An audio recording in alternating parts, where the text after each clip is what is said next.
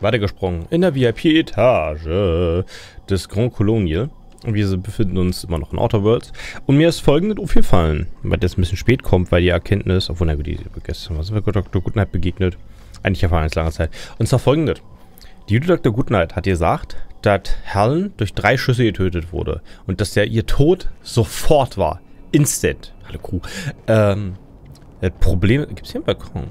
Das Problem ist jetzt bloß an der Stelle, achso, ich wollte eigentlich nochmal das, das Fahnengröße machen. Äh, das Problem ist jetzt allerdings, dass sie hat ein B geschrieben, wie Burbage 3000 oder 3001. Ich habe echt keine Ahnung, welche von den beiden das war. Das ist aber relativ egal.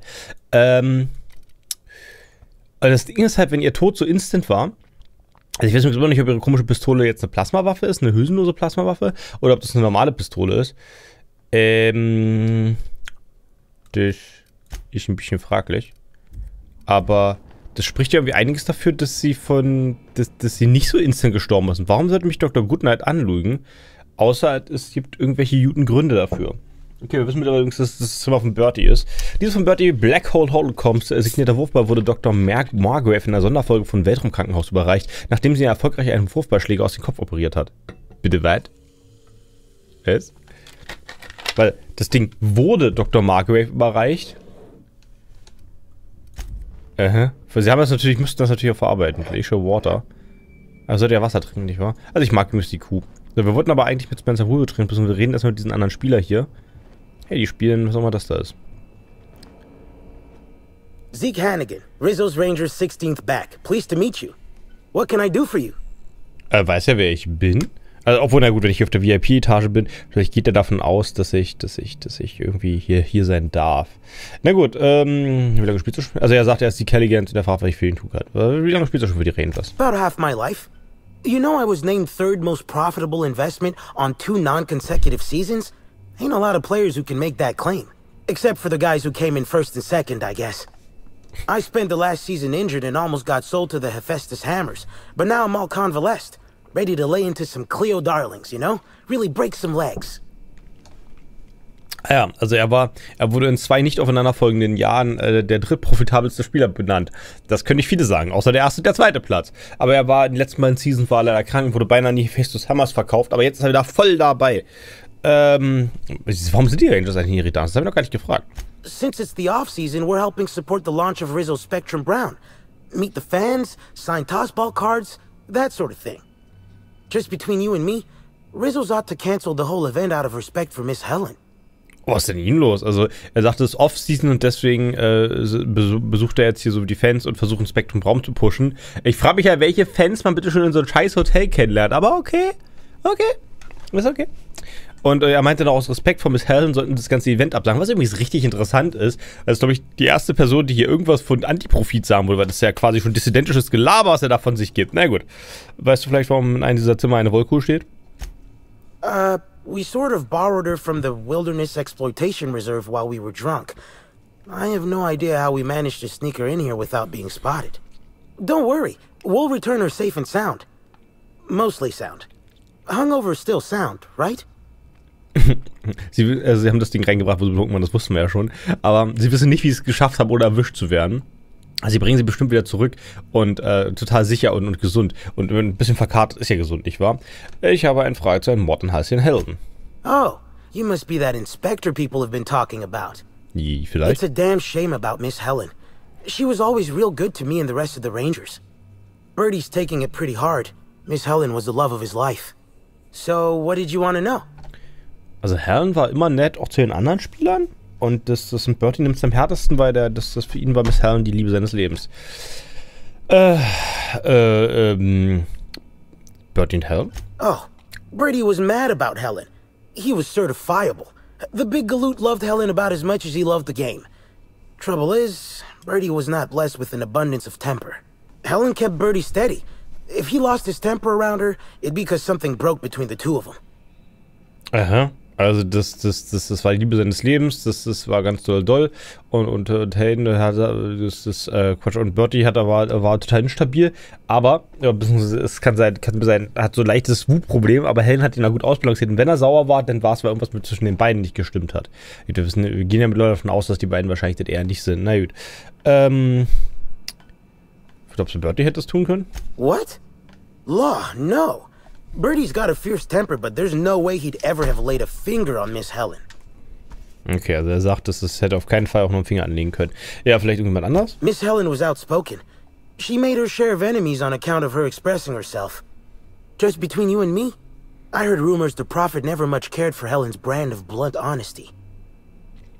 Aha, also Helen hat immer sehr ehrlich gesprochen und das anscheinend kam der kam die Prophetin des Prophetes damit nicht ganz so gut klar. Das ist das erste Mal, dass überhaupt irgendein anderer Charakter die die Prophetin des Prophets äh, referenziert hat, ne? Naja, gut. Okay, äh, wo war er zum Zeitpunkt des Mordes? I'm ashamed to admit it, but me and a couple of the other Rangers spent the night in Constable Keen's cells down at the spaceport. We didn't do anything serious, just a bit of pranks and vandalism. It's what usually happens when we all get to drinking.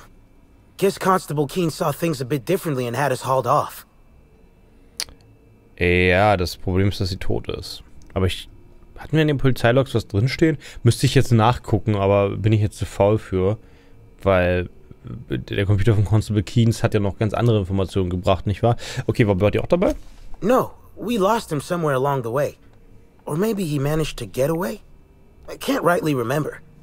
But he was definitely not sharing a cell with us. That much I know. Naja, okay, lassen Sie was anderes. What can I do for you? Habe ich noch andere Fragen? Okay, das war alles. Judy, äh... Also hier sieht das für, für Halschenverhältnisse aus, dass über dieses komische Klo immer noch ist, ohne Klodeckel. Äh, für Halschenverhältnisse sieht dieses Bad quasi schon sauber aus, ne? Also das, das, das kann man nicht für meckern. Es sieht zwar irgendwie, diese Fliesen sehen irgendwie immer dreckig aus. Was, glaube ich, eine, einfach eine Natur der Sache von den komischen Fliesen liegt. Sein Zimmer kann man auch nichts klauen. Sieht er mich? Ah. Business Casual. Also das, ich glaube diese Klamotten. Hey, I saw that. What do you think you're doing? Äh, ich wollte gerade gehen. Was immer ich will. Warum macht das hier eigentlich plus irgendwas? Just keep your fingers to your own self, okay? Ruf Parisus gesenkt. Naja gut, das ist mir nicht real. Aber interessant, dass er ein, ein Repräsentant von, von Risus ist. Naja gut, ist ja egal. Also es hat sich absolut nicht gelohnt, weil ich glaube, so wertvoll sind diese Dinger nicht. Ja, 30. Aber hey, Führungsfertigkeiten. Einschüchtern. Ich bin bereit, ich muss noch, ich muss noch die, die Mods suchen für Schleichen. So, wir sind es. Ach, das sind... Ah. I'm getting worried about our mascot. I haven't seen him for a spell.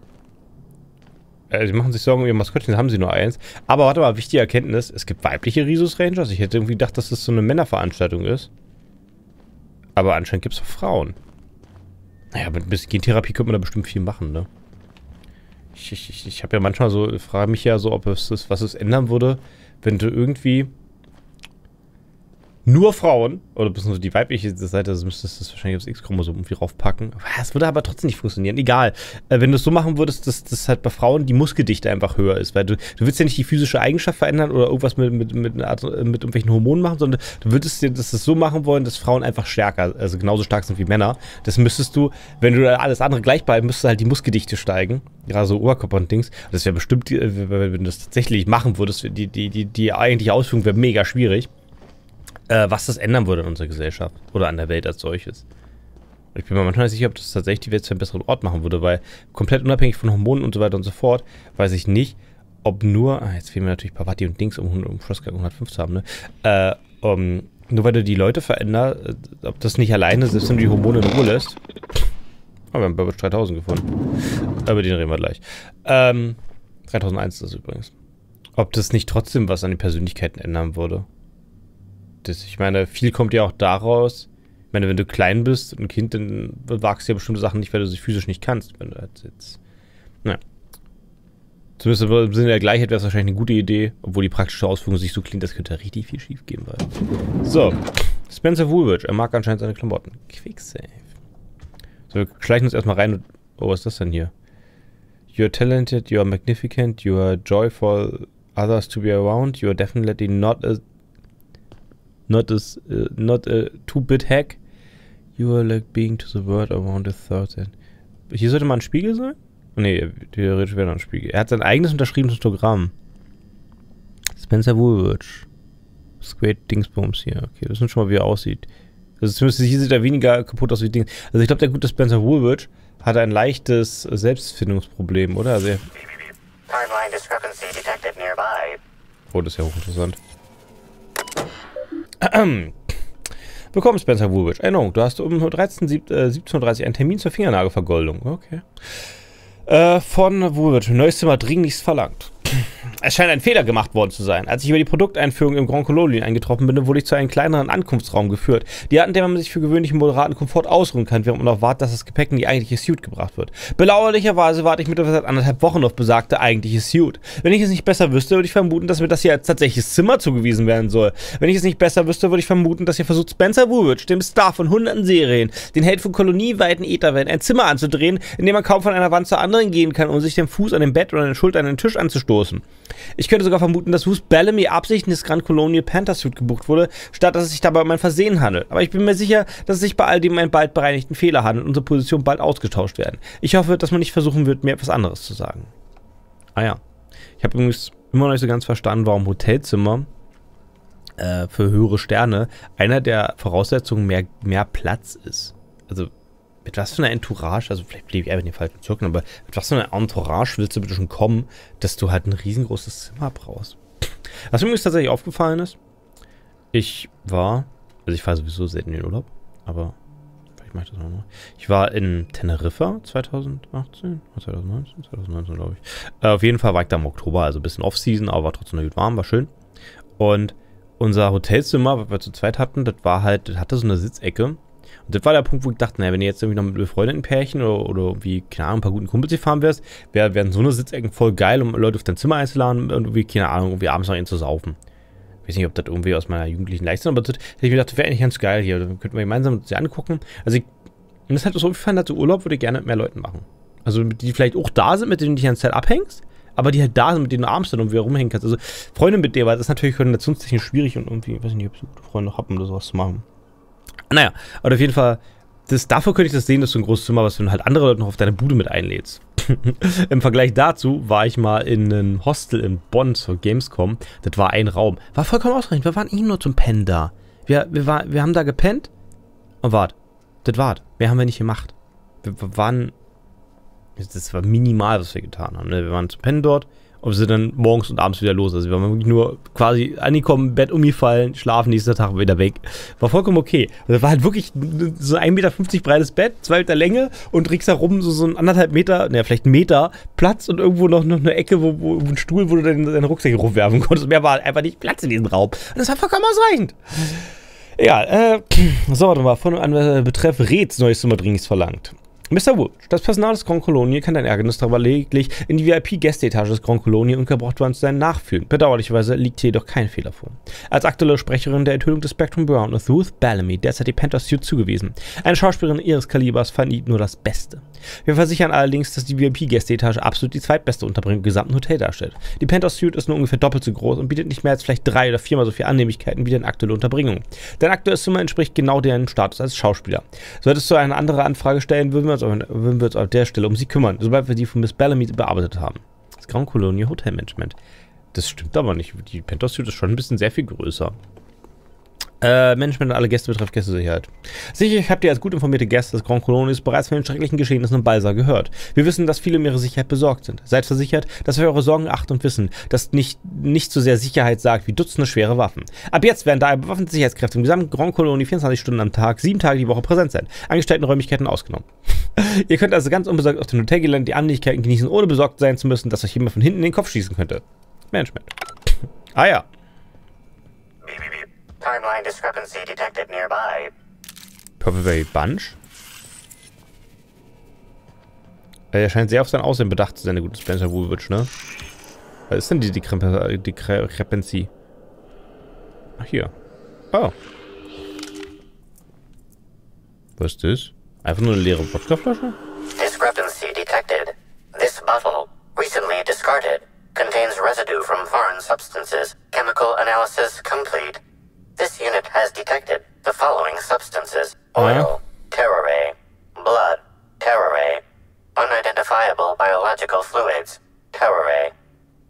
What? Okay, ich hätte jetzt gedacht, dass das das Kaliumchlorid, womit Helen vergiftet war, aber das? Was? Jetzt bin ich ein bisschen überrascht. Wurde die Substanz im Nachhinein hinzugefügt? Yes, Inspector. Logical analysis indicates these substances were not present in the bottle's original contents. Äh, giftig? These substances cause extreme gastrointestinal distress in humans. Large doses can be fatal. This bottle contained Rizzo's Spectrum vodka. The presence of Terraray biological fluids may have significantly improved its flavor. Also das Zugeben von Petro-Rochenzeug hat eventuell den, den Geschmack von Spektrum Wochen massiv verbessert. Also es könnte tatsächlich wirklich nur eine Genussgeschichte gewesen sein. Das ist natürlich bitter, dass die Qualität so schlecht ist. Oh, guck mal, er hat sogar so ein kleines Ding. So Spencer Woolrich, was ist süß. Ja, wir fragen ihn jetzt trotzdem, ob er der Mörder war. Hallo, Spencer Woolrich. About time you arrived. I see you haven't dressed the way I asked you to, but I suppose that was expecting too much of a non-industry lout. Expect a complaint to management. Now, unless you'd like to waste more of my time, I suggest we begin rehearsing. Ready? You've fallen right into my trap, Captain. Oh, don't bother to fight back. You cannot hope to stop me from installing philosophism as the system's reigning ideology. Habe ich den WK bei? Ich habe den WK bei, ne? Gut. Schön. Also wir spielen auf jeden Fall mit. Also er meinte, ähm, das ist schön, dass du endlich da bist, dass du dich nicht verkehrt hast. Das, das war ja zu erwarten von, der, von einem Branchenpferdentypen wie du. Naja, alles klar, ich werde mich per Management beschweren. Jetzt fangen wir an. Das, äh, dann hat er gesagt, du bist direkt in meine Falle gedacht, Captain. Mach dir nicht die Mühe, dich zu wehren. Es gibt keinerlei Hoffnung, dass du mich davon abhalten kannst, Philosophismus als die herrschende Logie des Systems zu analysieren.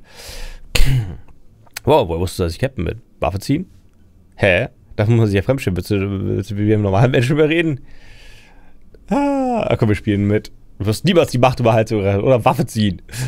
How does the scenery taste? Good, I trust. Wie schmeckt die Landschaft? Gut, hoffe ich. Uh, wait a moment. You're not wearing a bellhop's ID, which must mean you're not Owen's understudy.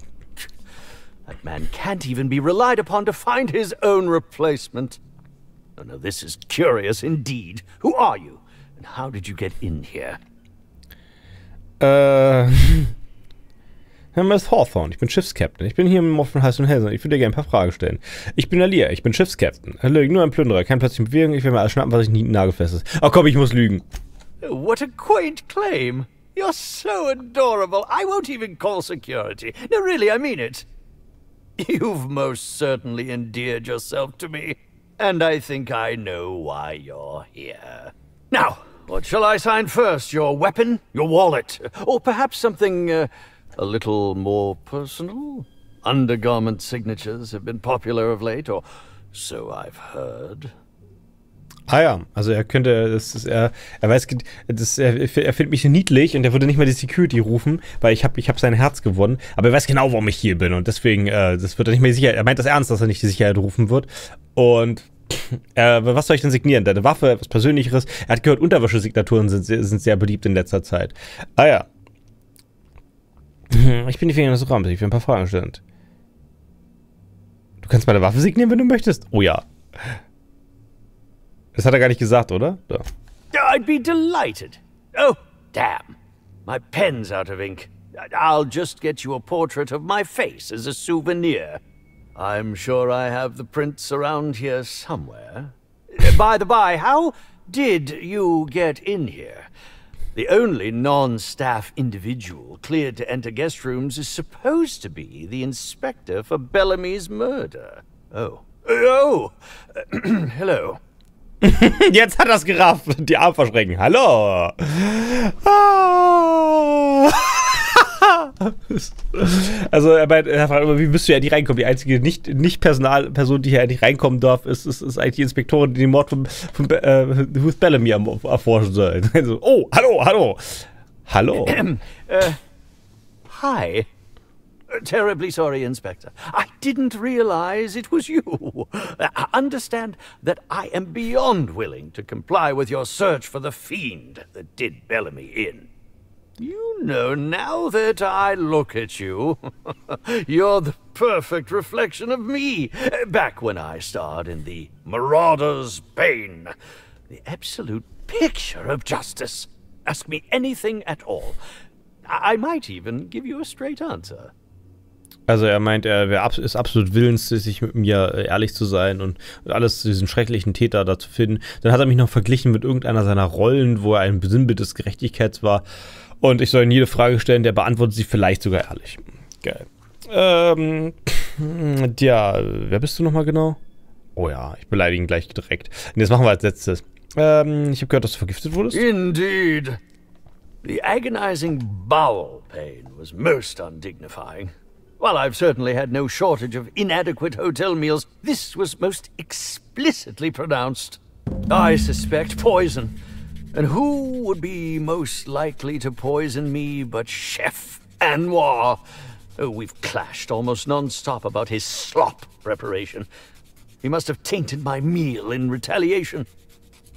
Aha. Also er, er meint, dass, dass, dass, dass er auf jeden Fall vergiftet wurde. Es lag auf jeden Fall in der Mahlzeit. Und er hat ja schon genug Hotelmahlzeiten, um das gut zu unterscheiden zu können. Und er vermutet, dass der Koch an war, mit dem haben wir schon geredet, der keine Zeit für uns hat übrigens, äh, daran beteiligt sein könnte, weil er ist ja weil die streiten sich irgendwie andauernd über, über die, die Zubereitung. Also er ist anscheinend nicht von Anwars Skills überzeugt.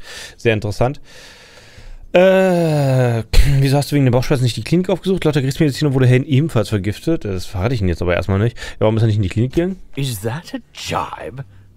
Could you imagine the tabloid headlines? Spencer Woolrich, Aetherwave star, spotted in gastronomic distress. Oh, unseemly hardly describes the half of it. Ja, kann man sich denn nicht den Arzt aufs Zimmer rufen? Ja, gut. Also er meint, er, er hat deswegen keinen Arzt gerufen, weil er hat Angst vor der Klatschpresse. Ich glaube, er überschätzt seine Rolle, nicht wahr? Ja, jemand anderes aus der Koch? None that I can think of. I treat all hotel staff equally, and with the minimum level of respect that they deserve. Er behandelt alle Hotelangestellten äh, gleich, und zwar mit der Minimum Respekt. Ja, ja, äh, übrigens, Helen wurde auch vergiftet. How alarming! Whoever targeted her was certainly targeting me. I can only thank my ironclad constitution that I'm standing here before you. Yeah, before you.